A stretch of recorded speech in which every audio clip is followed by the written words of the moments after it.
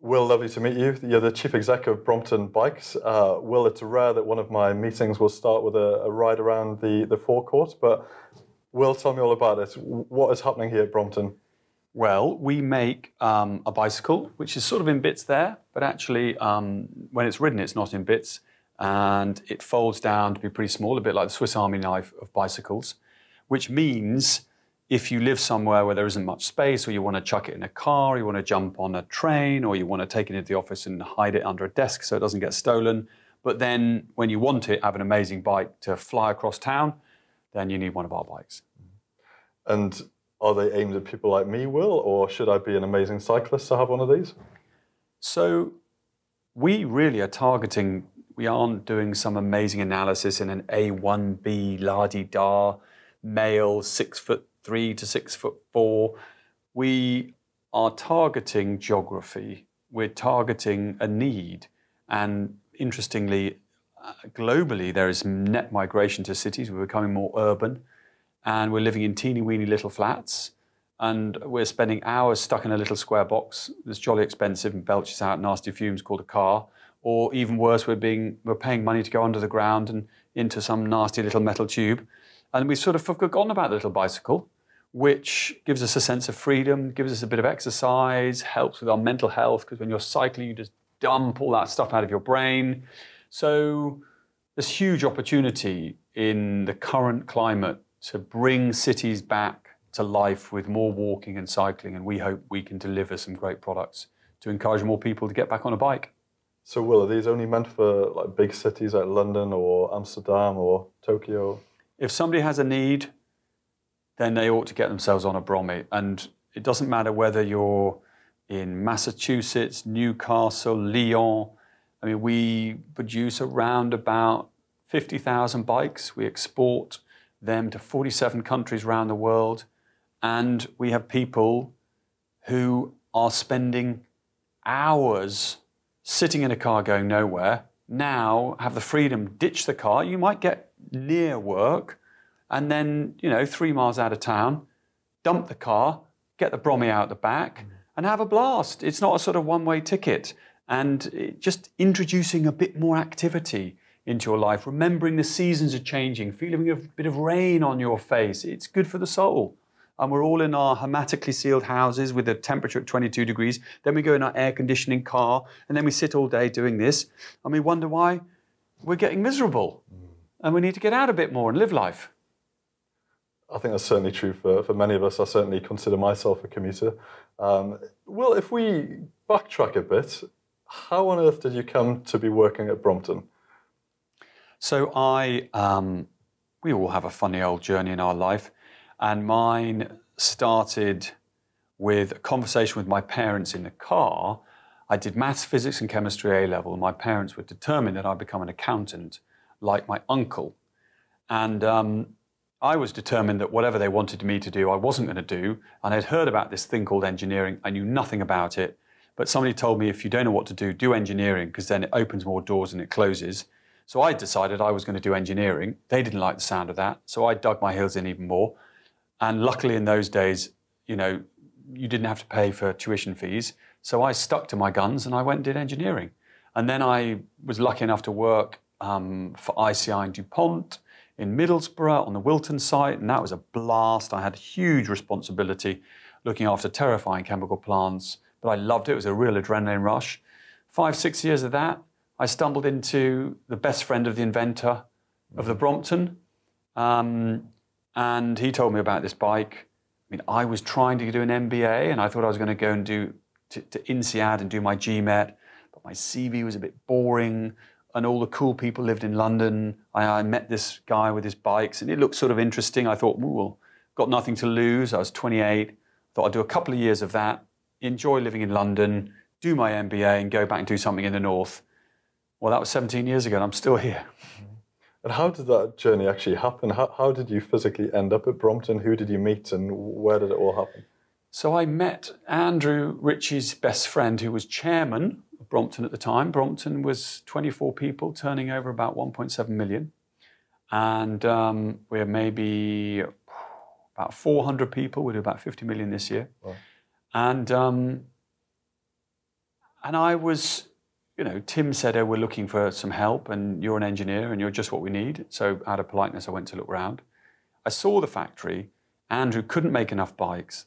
From what I could see, the factory was not well run. It, it, there was so much work in progress. It was just cluttered, and there was no order. And and I thought, my God, I can definitely help. I can do something here. But the biggest attraction was it looked like fun. I feel felt I could contribute, and I liked the idea of living in London. At that stage, that was enough.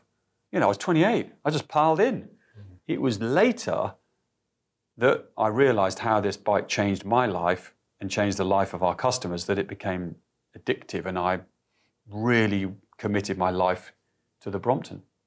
So many people would say if you worked in chemicals and run plants, why on earth would you shift from process into product? Was that a hard transition? It's all the same. You know, it doesn't matter. I, I worked for um, Calsonic, which is an exhaust pipe supplier. I saw what they were up to in Washington. Then I worked for Nissan in Madrid. You could stick me on an oil rig, you could stick me in a car factory, you could stick me anywhere. It doesn't matter. It's the same. It's people, it's process, it's repeatability, it's clever engineering, it's hearts and minds, it's waste. You, you, it, it, doesn't matter. You could stick me anywhere and I'd, I'd, I'd get it better because you just look for the waste. You look for the bottlenecks. You look for the missing bits. And, you know, it's all the same. It's all the same. Let's capture your mindset age 28 did you believe you had the potential to be doing what you're doing now and, and be yes. able to do more? Yes. Why? Um, even before that, I tried to do a management buyout of the chemical plant that I was running in Middlesbrough. And DuPont were prepared to sell it to me for a quid. And they were going to sell me a 60 million pound chemical plant for a quid because it had all sorts of liabilities and decontamination of the site. And I got a team together. And then I, I, I got chickened out and stuck with the MBA. But I, I right from the start, one of the things that was interesting in Brompton, even though I wasn't thinking I was going to commit my life to it, you take decisions on the base of, look, the worst comes to the worst, I'll do two years. I've got nothing to lose. I'll enjoy it. But you've always got it in the back of your mind. That's, that's, the, that's the one route, the worst case scenario. But then you've always got the other, well, or could go gangbusters. Mm-hmm. You know, but if you know you've protected the worst case scenario, you've got nothing to lose. That's always the one to protect first. And then the other one, well, happy go lucky. Um, but the bike was cool, and increasingly, it was amazing what it did for people. And Andrew, there was no succession in the company. There wasn't that leadership. And Andrew is an incredible inventor, but he's not a builder of a business because he was way, way too interested about controlling everything.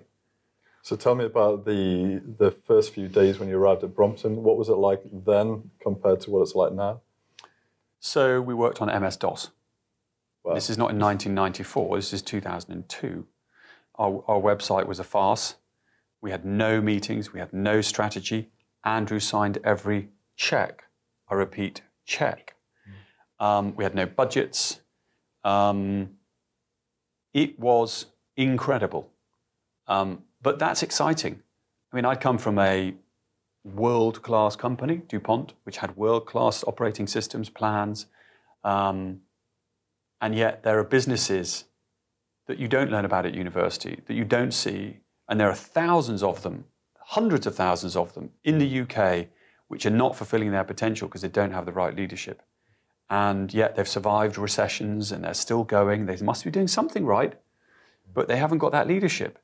And um, I was jolly lucky to just roll in at the right place. I mean, the bike is awesome. So I was struck lucky in that regard. But, you know, I was running a chemical plant at 26 in Middlesbrough, which was pretty incredible. I was, you know, plant manager, not from the um, process side, but from the maintenance side. So I had a two and a half million pound budget. I had 14 people working for me at 26 with a COMAH registered chemical plant. So that was exciting. So already I knew I wanted to get stuff done. So you arrived at Brompton. Arguably, there's a lot that can be done. How did you identify the potential of the business and where you were going to take it? So we had no meeting room. We had no meetings. We had no budgets, no plan, nothing. So I decided that we needed a plan. So, and Andrew was a sort of slight kleptomaniac. He wouldn't throw anything out. So he had tons of experiments, past experiments, keep it just in case we might need it one day everywhere. And one of the the rooms, the offices, was just full of junk. So I just cleared it, got a skip, chucked all the junk in the skip, got a hoover out, hoovered it, crappy old carpet, who cares, hoovered it until it looked okay. We had no money. Went to a second-hand shop, bought a second-hand table, bought some old chairs from the Army Navy stores around the corner in um, Brentford. And I said, right, I'm having a meeting and I'm calling this meeting and it's going to be called 25K and we're going to work out how we're going to make 25,000 bikes. People were like, what? What? That's ridiculous. Ridiculous. We can't do 25,000 bikes. What's stupid? Well, I mean, that's ridiculous. So we hadn't even had the meeting. Just the name of the meeting was enough for everyone to throw their hands up and go, this is ridiculous. We can't do this. No, we can't even make, you know, 10,000 bikes. How we do 25,000? We haven't got the space. We haven't, we haven't, we haven't, we haven't. We haven't. So the biggest challenge was getting people just to believe it was possible. And by the time they came to the first meeting, I knew we cracked it because they, they, they came round to the idea that we could do 25,000 bikes. And we did. We got to about 36,000 bikes on that site before wow. we finally had to move. So, but half of the trick is believing. If you don't believe, you'll never succeed. If you believe, you might succeed. Doesn't mean you will, but you're definitely not going to succeed if you don't believe. So, what were, before you had that 25k target, how many bikes were you producing? What was headcount? So, I think we were doing about 6,000 bikes, 6,500 bikes, 25 of us. And we're now doing about 50,000 bikes, in fact, a bit more than that, and there are about 400 of us. But the other difference is, in those days, we made a bike. That's what we did. Mm. And somebody turned up and picked up the bike and took it somewhere to a shop, to a distribution um, depot. But what's ch- changed is we've become very international, but also we are now the distributor in 17 countries. That means in 17 countries, we look after the website, we look after the customer service, we look after the um, technical support, we look after the marketing, the SEO, search engine optimization, social media, in all these countries, in all these places, in all these different languages, all from the UK with little teams dotted around the world. We have our own shops. So the business has become quite complex and we've, we've, we've vertically integrated from raw material to shop. So literally, we are taking raw material and then we're taking that raw material, adding all the value and presenting it to the customer. Gosh. And because I do know you've done quite a lot with your retail internationally, was that always part of the strategy to pull out? Oh, no, no. You need vision.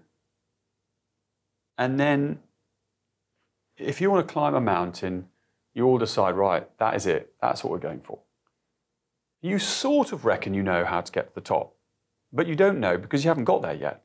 What you will see then, having decided you're going to get to the top of the mountain, is the first horizon. That's the far as you can see. You can only see the first hop. You know it's a false horizon, but it's the first one. So you prepare yourself to get to that horizon. Then you get to the horizon and you go, oh my word, now look what we've got. Because you couldn't see that from down there. Mm. Then you adjust your plan. Hopefully you've got enough kit and you move on to the next bit and the next bit and the next bit and the next bit. So that doesn't mean you're still trying to get to the top, but how you get there, you have to adjust your plan and adjust your thinking and who you need and what you've got to get yourself up there, depending on what you find on the way. So the strategy keeps changing, but the ambition remains the same. So we uh, both will have friends that are trying to grow businesses significantly. What is the key with getting the vision right without stretching it to the point of snap where it breaks down? So I don't think the vision will be snapped because the vision is infinite in many respects our mission is to change how people live in cities, to make them happier, to make people um, enjoy their lives more in a city. And as more people live there, millions and millions, we need more of it. That is how we measure success. The implementation of that is the bit you can overstretch. If you set a, a sort of three to five year plan that's too ambitious, you can break your team. And I think the thing to remember is compound growth. Mm. We're surrounded by you know, I don't know, you know, soccer stars who one minute were, you know, kicking a ball around the back streets and the next minute they're earning £200,000 a week or, you know, a music star who was, you know, singing to a few friends in the pub, the next minute they're on top of the pops and they're some mega superstar.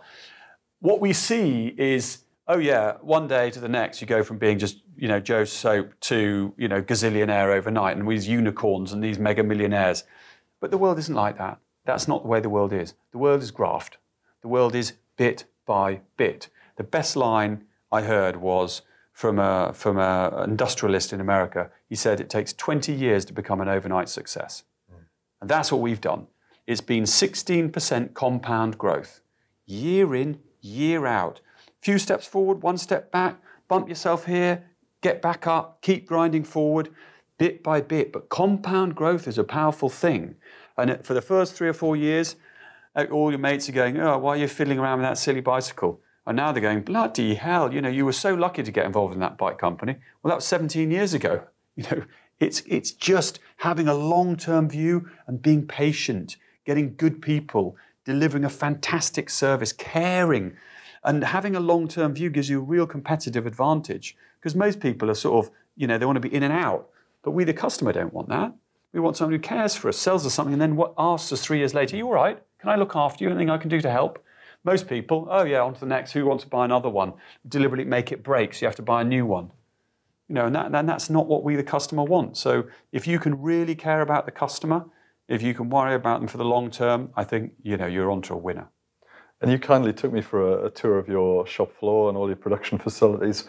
Uh, it's very rare to see such buy-in from the staff and and such a united, friendly, proactive workforce. What have you done to nail that with your staff here at Brompton? This is our company. We have something special. We all have a job we like it. If we don't like it, we ought to work somewhere else. You know when staff like something because the product's good. The number one is the product. But if your staff don't love what they're doing, the product can never be delightful because you can feel it. It doesn't matter whether it's a service or a product. If the staff don't really care, you can feel it in the product. But this is our company. Now, if we all want to be here in 10 years' time, we need to give a shit. We need to care. And I tell my staff everything. I'd rather have 400 people worrying about this business than five. And, and if they don't care, they're damaging all of us. If somebody doesn't care, they're affecting other people in the company's future. And most of us care deeply because we believe we have something special, so we want to look after it. So it's down to us. And we can't blame it on anyone else. You know, and if anybody's got an issue or they're worried about something, they come and talk to me. That's my job to help people do their job. And link into that as well, Will. I know we've chatted in the past about how you organize your business. So you've got the people that are motivated, but the other part about how you like to disrupt. Could you tell us a little bit about that? So the funny thing is, um, human beings are creatures of habit. When we're little and we have our children, the thing that we're all terribly keen to do is, oh, we've got them in the routine yet. Have you got them in the routine? Oh, yes, yes, yes, yes. You have to feed them at this time. Then you give them the bath before they go to bed. You read them a story. They get in the routine. They love it. We love routine, like dogs. You know, most things we all like routine. And um, but the problem is routine isn't so good for innovation you know, if we come to work, we sit at our desk, we put our packed lunch there, and we get our first cup of tea at 8.15. Yes, yes, night time. Oh, then we have the coffee at 10.30. Yes, yes, yes. We do, do, do, do, do. Oh, it's quarter to five, or it's 10 to six, or whatever it is. Dip, dip, dip, routine. Well, if that's what the whole company is, routine, routine, routine, where's the innovation there? That's no good. We need to shake it up. We need to do weird stuff. We need to try. We need to burn our fingers. We need to accidentally just cut our finger. You know, you give a child a penknife when they're small. They make a small little cut and they learn to handle a penknife. Otherwise, you suddenly get some business where they get to 200 million and then some bloke goes and writes off another 100 million because no one allowed them make little mistakes. So it is a, it's what is perfectly normal, but somehow it's been driven out of us in business. And we over professionalize companies, we over systematize companies. We think that order process, box ticking is the route. You need communication, you need order, you need project management as you get bigger, but you can't take away the ability for the individual to think for themselves and innovate and make mistakes on their own two feet. Do you think everyone can innovate, or do you think it starts to upset people to start no, with and then they get used everybody to it? Everybody can innovate. Okay. You look at what happens when there's turmoil. You look at what happens when you have dr- really nasty things in the world, when you have awful things like the Second World War. Every single person in the UK had to innovate. They had to change what they were doing. They had to live in a different way. They had to do things they wouldn't have dreamt of. The human being is an amazing innovator, but, but we, we like routine, so we won't unless we have to. We like to the same. But you drop people into a difficult situation, you see some of the things that you see around the world, and you think, my God, people, people will respond, they will react, they will come up with ideas. They're, we're survivors. But you need to bring that into business. You need to not be the same as everyone else. And you don't need to be some radically different. You just need to be a couple of degrees off from the same as everyone else. And that two degree is the difference between okay and delightful, average and gorgeous. And that is what you're looking for. And you just need to not follow the crowd and challenge something and say, well, why? Be a child. Why? Why do we do it that way? You know, surely it could be better. Why don't we do it this way? That doesn't make sense. And you know, it's like we have the story of the um, the emperor in his invisible clothes. I say to my staff, if you are ever like that, you know, it's the end. If I'm wandering around naked and none of you are telling me, we've got a problem. I need you to be the little child that goes, you can see his willy. He's got no clothes on. And in so many businesses, everybody knows it's ridiculous, but they're all saying, yeah, yeah, yeah, well done, well done. Mm-hmm. That, is, that is a disaster. You know, that's, and that goes on in so many, they all know it. You ask them, they know it, but they don't dare say it. Absolutely. Talk to me about brand, because many would say Brompton is a, an amazing brand, but I think you have some quite practical views on brand and how that ties in both with your people and how it ties in with your customer. So people perceive the brand to be the logo, mm-hmm.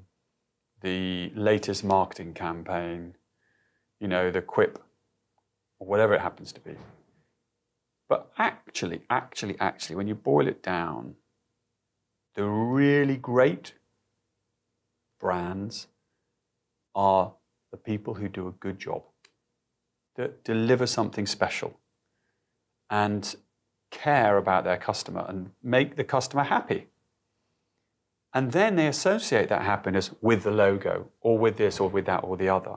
But particularly today, in a way actually that probably strengthens this argument, maybe in the old days you could have a pretty ropey product, but if you chucked enough marketing at it, you could sort of persuade people that it's brilliant. But now, you can spend all the money you like on marketing. You can come up with the best lines, the coolest, most perfect, sexy looking people in your adverts.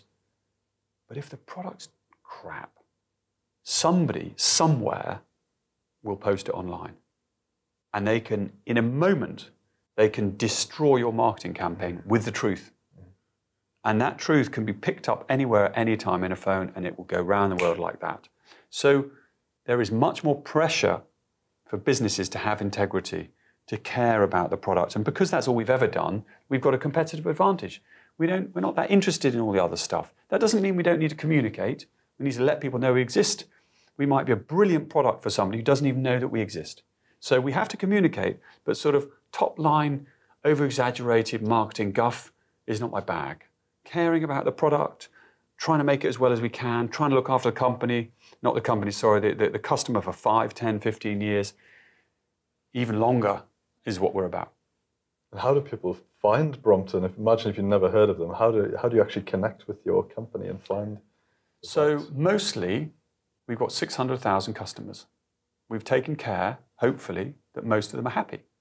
I would hope that if you've met a Brompton owner, they're a happy Brompton owner. If they are, they have probably told their friends about the bike that they love, or they've tweeted, or been on Facebook or taken photographs or something. They've probably reached 50 people. Well, 600,000 times 50. That'll do. Significant. That'll do. Where is the future of Brompton going then? So you've got these 600,000 customers. Where is it going to go in terms of your vision for the business? So I think we need to start with where's the world going? And we've created a bit of a conundrum we've created a global climate problem, which is serious, needs addressing. We can contribute a little bit to that, but we aren't going to solve the CO2 um, crisis that we have. And you can't solve all problems. You've got to decide which problems you're going to contribute to in life and focus on them. Because if you try and contribute to every problem, you will contribute to nothing. But hot on the heels of the climate emergency is a health emergency, in my opinion. As we've migrated to cities around the world, so we have seen exponential growth in mental and physical health problems. And mental is less obvious, physical is more visible. And we can see the physical because we can see that people are not doing enough active movement. They're, we're designed to move. And where it's too easy to have a double shot, double caramel, three foot latte, or whatever it happens to be. Um, and if we're not doing the exercise and we're spending all day doing this and we get out of bed and we get in a car, we get out of bed and we sit in a tube and all we do is just sort of literally move five yards and sit down, then who's surprised? And that is going to cost us billions to our governments and society going forward, which, and it's not making people happy. But in parallel with that is mental health. We have mental health problems because exercise, outdoor, fresh air is good for the soul. And we live in amazing cities with wonderful architecture. Most people don't even know their city. So we need to get people out. And so I think governments are realizing the value of walking and cycling. And there will be much, much more push, nudging, improvements in infrastructure to get people back out of under the ground, back out of their cars, walking and cycling in their cities, which is where most of us live. So I think that macro trend is coming, whether we like it, and it's the same in the UK as it is in the rest of the world. What our role is, is to come up with amazing products that fit into that macro change. Use material science, engineering, electric drive, apps to create something that's genuinely useful and makes people enjoy themselves more. And that's what we've been doing for 40 years, and we've got some quite cool ideas coming down the track. Tell me about these electric bikes. What is coming in the world of electrification? So we set off on this journey about 10 years ago, and we did struggle, I must say, because unlike most electric bikes, you have to carry ours, and electric's heavy. Um, and eventually we got a bit of help from Williams, the fast car people, and they helped us crack the engineering problem. They didn't exactly deliver a mass producible product, but they cracked the problem. And with that, we were able to make it makeable and we launched that last year. Still early days. Huge shift in this company because we've gone from being a metal basher to a software and electronics company. But at the moment, we're about 4,000 bikes in and we're being careful, not rolling it out too quickly, controlling the supply. But the customers that have bought it are having fun. They're enjoying it. It's great. And so we're learning a lot. They're enjoying it. And hopefully, we're on a journey and if you look at the, the, the, the electric phenomenon that's going on, the electric bicycle is a bit like the smartphone. In Germany last year, they sold more electric bikes than pedal bikes. Wow. It's overtaken the pedal bike, and that was 1.4 billion pound market just in Germany. Mm-hmm. So it's very, very interesting. And you talked uh, there about trying things that not quite working out over this journey of your time at Brompton, have things ever not worked out and you've looked back and thought, you know what, if I had my time again, I'd do things differently? Um, I mentioned earlier that if you don't fail, you're not innovating. I mean, I stumble from one flipping catastrophe to the next. But those catastrophes are small. They are like getting an electric shock when you touch the fence. They give you a shock, you learn a lesson, but they're not fatal. We are very, very, very driven about hitting our top line numbers. We have very clear KPIs. We are absolutely on the numbers for our core business. Then we have, that's our homework. But then we have 20% of playtime, mm. doing weird stuff, trying. But that 20% of playtime is doing stuff fast where we can afford to make a mistake, where we can afford for it to go wrong. And as long as you protect the downside, you can relax. You can take risk because you're not betting the farm. You're not falling from a three story building, you're falling from a two foot log.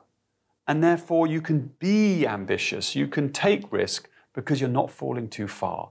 Then, if you find taking the risk, wow, that's exciting, ooh, there's something there, then invest, do the market research, and start getting distracted.